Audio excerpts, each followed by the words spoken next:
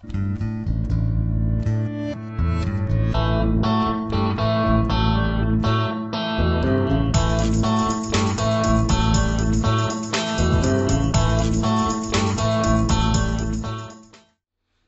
and welcome to Video Blog Basics.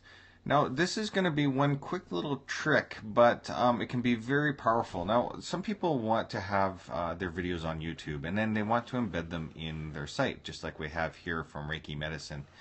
Now the problem with this one is, is that you know the video plays and everything's good. More important. But when you Reiki come to the very end of the video, YouTube has a related videos little clip at the end.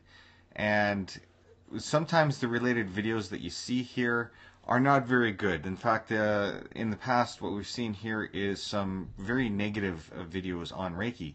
So I'm going to show you how to get rid of this related videos at the very end. Now what I did is, is I went into one of my sites, Adventures of Ben, and I just put up a test post. And what I did with the test post is, is I went to the Reiki Medicine um, YouTube channel, and when you go there, you can have a share, and when you click on share, it brings out this dialog, and it gives you a URL or some embed code. In this case, we're going to use the iframe embed code. You can use the old embed code, and this trick still works. Um, the same functionality comes in, but basically, what you do is you take this embed code and you put it into your site.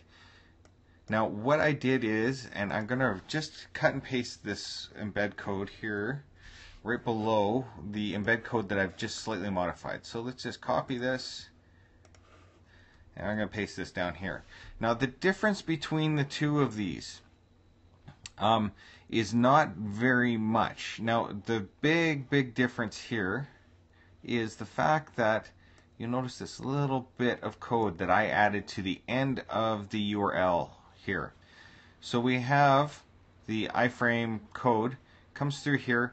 Then I added question mark REL equals zero. And what that will do is all related videos to this, it will not show them. So I can add that code to the end of the URL and it will play. So first thing I'm going to do here is I'm going to get rid of this because I already know that this is working here. I'm going to update this post just so everybody can see. And we're going to view the post. So the post comes up and I can hit play and I'm going to skip to the very end here. Hopefully it loads fairly fast. So we load and you can see the related videos that come up and some of these related videos are not the ones that you want.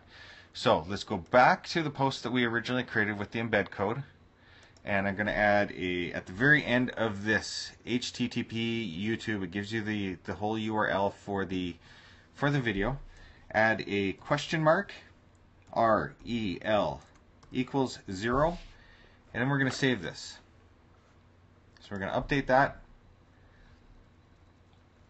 now let's preview the change well actually let's we can view the post or preview the changes I think it would be best that we go back and we just view the post. So now we have the post. Let's reload this. I'm So it's going to come through and let's skip to the very end. And please have your fingers crossed for me.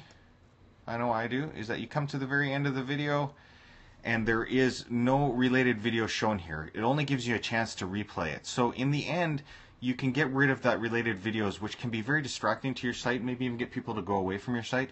That's something that you don't want. Worst case scenarios is you have some negative or anti um, messages that you don't want to have show up as a related video. So this is the perfect way to get rid of that. And again, I'm going to go through this really quickly. It doesn't matter what the embed code that you get is, whether it's big or long. Just look for the http youtube.com backslash embed and then a number or you know alphanumeric uh, characters uh, depicting what your video is. After that, you want to add this text. REL equals zero. And once you do that, those related videos will go away and everything is kosher. So hopefully that's helped you out and I will chat with you guys quite soon.